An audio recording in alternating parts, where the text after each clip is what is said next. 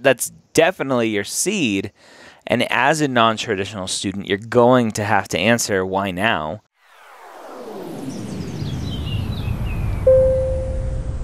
Ask Dr. Gray pre-med Q&A sponsored by Blueprint MCAT Prep. How are you doing today? I'm good. How are you? I'm great. What can I help you with? Um, so, uh, Dr. Gray, thank you for taking my call. And uh, I have a couple of questions with regards to um, activities uh, that I'm hoping you can help me to um, categorize them. Okay. Um, so, the first question I have is uh, I'm currently a clinical project manager. Um, so I'm wondering how um, how I should go around, uh, you know, categorize uh, this um, activities. Okay. I know it's not research on one of your uh, um, call. I asked the questions, and I know it's not research now, but can I categorize it as maybe leadership or uh, I'm, I'm not sure how to, to go about. Um, so let's let's dive into what exactly you're doing. So just general for everyone watching or listening to this, right? Categorizing things it's hard to do just based on the title alone. So what specifically are you doing day in and day out? Right. So basically, I'm managing several clinical trials, uh, phase one to three and specifically, I managed um, everything with the trial with regards to imaging. So most of my trials are oncology study. Okay. And uh, what we do is we receive imaging scans from uh, different clinical sites from patients. Okay. And uh, my job is to make sure that everything is set up in our system to receive the imagings and assign these imagings to the radiologists to perform their reads and then um, just basically manage the workflow and contact as a point of contact between the pharmaceutical clients and my yeah. team. Um, and I also do a lot of trainings with the sites and answer questions okay. uh, and solving issues with the clinical sites. Okay. Um, so I am wondering how can I categorize these activities. So, um, as we talked about previously, I think it was uh, Ask the Dean, wasn't it, that that question was a- uh, asked on? Yes, I um, thought it was research. I asked if it can be categorized yeah. research, but yeah, probably not research because you're not the the one who is setting up what the trial looks like. You're not the one who's interpreting data, um, doing any of the data gathering kind of things. You're you Actually, are you you it sounds like well data gathering in terms of you're taking the stuff and then giving it to the people but not in terms of it doesn't sound like where you're actually analyzing the data inputting it into a system trying to come to conclusions on your own.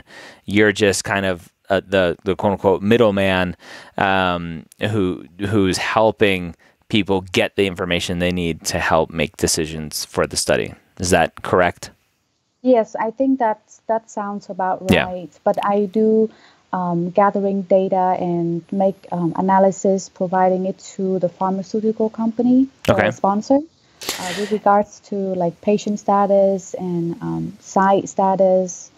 Um, so I'm yeah I'm not sure how.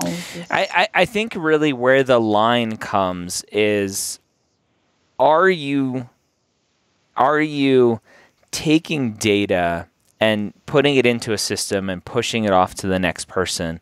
Or are you taking data, putting it into a system, analyzing it, looking at it, making conclusions on next steps that potentially may be needed for research purposes. Now, it's it's hard because where you're at in in a clinical trial position, a lot of those decisions are already made and you're the one that goes, well, okay, this happened, this happened, this happened, this is the next thing that's supposed to happen. That maybe that's what you're doing, quote unquote, analyzing information. Again, I don't know if I would call that research. Um, yep. You are doing a job uh, that involves touching a lot of individual people in and around research, which is very interesting. Would I call it leadership? I don't know. Are you a leader? Are you leading people? I do have a team that um, works for me okay. and helping me managing uh, these trials. Okay. Why wouldn't you want to just put it under paid employment, non medical clinical, and then in the description talk about kind of what your role is, talk about the leadership in there, managing people, maybe make it a most meaningful if if that's what it is to you, uh, and put it there. Right. Yeah. I guess I, I guess I could do that. I was just wondering if uh, if it's like a mix of um, different things or Yeah. yeah I, what you said totally makes sense i think it's probably better to be categorized as employment and then i can provide like more explanation uh, of what i'm doing with the job um, and things like that Yeah, sounds like a great job. Yeah i, I, I actually liked it and uh, I, get, I get to see a lot of patient scans so okay, what else? Yeah. Uh, so uh, the next question I have is so I participate in like a um, a competition. Uh, it's called it's by uh, Pharma Pharma Times. The competition is uh, Clinical Researcher of the Year, and I got the finalists in the uh, in the project management um, category. Okay. So uh, I'm wondering um, if it's beneficial to even mentioning this at all. Of course. Why wouldn't it be? Right. Yeah. And would it, it be like extracurricular or it would be under awards, honors, recognitions. okay, yeah. And uh, I'm also wondering if it's uh, can be counted as research because I had to write like an essays and that essay got me to the final round. So It's um, it's a it's an award for the job that we just talked about, correct? um, no, actually it's like um, it's like a competition for the whole Americas regions. I know, So but it's it's of- for your job that you do. Yes, in Right. order to participate, I have to be um, working for like a pharmaceutical company. Correct. For Yeah. the for the job that we just talked about that we said wasn't research. yes. So your award wouldn't be organized By the same company, it's organized by a different I, company. I got that. I got that. But your your the award doesn't turn into research. Your job isn't research. The award isn't research either. right. Okay. Why? Let, let me take a step back. Why are you so interested in in research on your application? Seems like you're you're trying to fit all of these different things into research where they don't fit. Why are you trying to do that? I guess the reason is because um, I honestly I am a non-trad.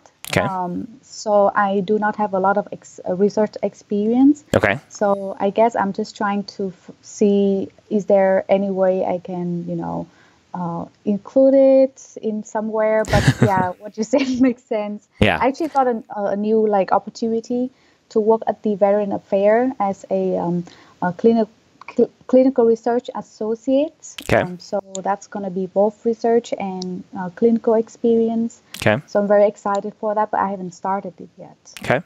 That's fine. Yeah. I, I think students are so concerned about checking all the boxes, which is what you're doing, uh, that you're trying to fit a square peg through a round hole. Right? So just because you wrote an essay for this award doesn't make it research. So, no, the answer is no, that's not research. um, categorize it under honors, uh, awards, and recognitions. Okay, that makes sense. Okay. Thank you. What else? Um, another question I have, I think is kind of like interesting to think about um, because I recently read a um, a research about how your name kind of like affect the opportunity that you are going to be landing an interview. Yep. And I've, I've seen that saying- research. Yes, I'm wondering what is your thought on how this apply to medical school, or is not even relevant at all? Um, I don't think the research was specifically around medical school admissions. It was more job hiring. And, and for those of you um, uh, who don't know the research, I- learned about it through Freakonomics because they like talking about that kind of stuff. I don't know if that's where you heard about the research, but they, they looked at names and how names affect uh, hiring options. And so, uh, obviously, we know in the African American community, the the names are not as standard or typical as um, as white Christian names, and and so if a hiring person at a a job or, or at a medical school potentially sees an abnormal, quote unquote, abnormal name come across, that person is less likely to be invited for an interview and be hired, un- unfortunately. And so there's this kind of racial kind of stigma associated with names to people, and those people aren't hired. So the question you're asking is how does that affect medical school admissions?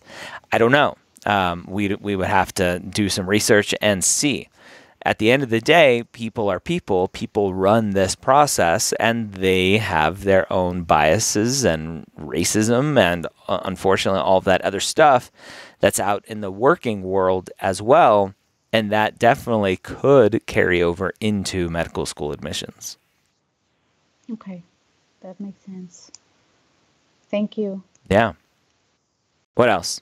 One one interesting thing, right, to add on to medical school admissions that we don't necessarily get with job applications on, on the medical school application, you're putting your race and ethnicity on the application, um, and so that's typically illegal in a in a job application. Um, it's for um, kind of uh, affirmative action type um, uh, application processes for medical schools, which I think we need, uh, and so that that adds a little bit of, of other information, kind of above and beyond what a name may say. Any other questions? Um, I think the last question I have is about the personal statement. Okay. So, um, you know, I, I was born and raised in Vietnam, uh, and, you know, we were very poor when I was uh, a kid. So, mm-hmm uh, you know, I knew I always wanted to become a doctor someday after, you know, my uncle was diagnosed with cancer and, you know, a lot of things in my family. Uh, but we, I never really thought it would become a reality because we were just so poor. Mm-hmm. So anyway, um, I got the chance to go to the U.S. to study, and uh, after graduate, I just, you know, uh, with a BA in economics, I just started to look for a job right away to have, um, you know, money to support myself and to send to my family as well. So I never really thought about, you know, my uh, my dream to pursue my path yep. until I met someone who really inspired me. But he's not in like medical uh, field or anything, but he really gave me the courage and, uh, you know, and uh, and uh, to pursue my path. So I'm wondering if it's even relevant to mention um, the person who inspired me, or I just should focus on uh, when I was, you know, what happened to my family and my uncle, and that really uh, put the seed into my head of, you know, wanting to pursue the um, the medical uh, path. Yeah, I mean that's that's definitely your seed and as a non traditional student, you're going to have to answer why now. And so this person, whether or not it's specifically related to medicine, obviously gave you gave you a kick to to to start to look at this again, to to realize that it was possible. And so I, I think that should be, if not part of your personal statement, somewhere in your answer of why are you doing this now? Um, and you'll just have to see how it works with a personal statement. Yeah. I guess why I'm doing it now is because I have uh, saved up money after a while of working mm. uh, with my professional job. I'm able to save money. Uh, I'm very fortunate to have a job and was able to save up money. And uh, I, I, feel like now is um, the right time for me to to pursue this path. Well, that that doesn't sound like the real answer though, because if I would have asked you before you met this person that kind of encouraged you to go back and do this, were you saving money so that you could go to medical school or you were you just saving Not really. money? yeah, exactly. anyway. right? So you have to tell your truth. Don't don't again fit a square peg through a round hole and try to make it seem like you've been working to save money so that you could go to medical school because that's not the truth. Right. I was just saving money anyway. Exactly. Yeah and then meeting this person and getting inspired and uh, being encouraged then that's that's when i really you know take a step back and say okay now you know i have the opportunity i have the yes the resources so um, i'm going to pursue this there's there's your answer okay now again whether that comes out in a personal statement or somewhere else it's gonna have to come out because that's that's your story and of why you're doing this right Okay. All right. Is that it? yeah, I think that's all the question I have for now. Awesome. Well, good luck on your journey. Uh, you're a part of Application Academy. Can can we talk about how that's going? Do you like it? I love it. Yes, Awesome. I really like the interaction and um, the presentation you give was really amazing.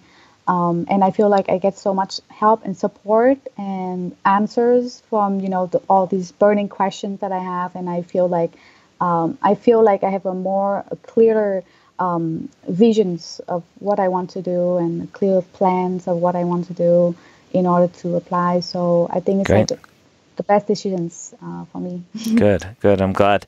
Um, let's talk about the MCAT real quick. The especially for you, you don't have a science degree. You have a, a BA in economics. You said.